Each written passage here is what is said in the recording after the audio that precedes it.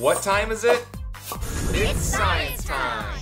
Soap cleans our hands and it also reduces the surface tension of water.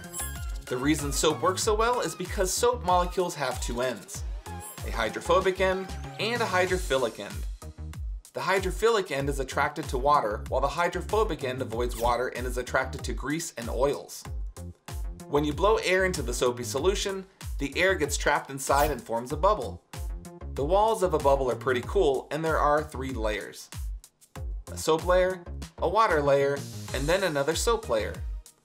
And if we look really closely, we can see that those soap molecules are all lined up in a similar fashion. The hydrophilic end of each soap molecule is attracted to the water molecules, while the hydrophobic end is trying to stay away as far as possible.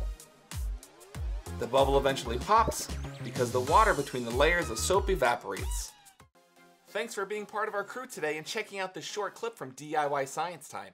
If you like this clip and you want to see more exciting science, check out the full versions right here on the channel.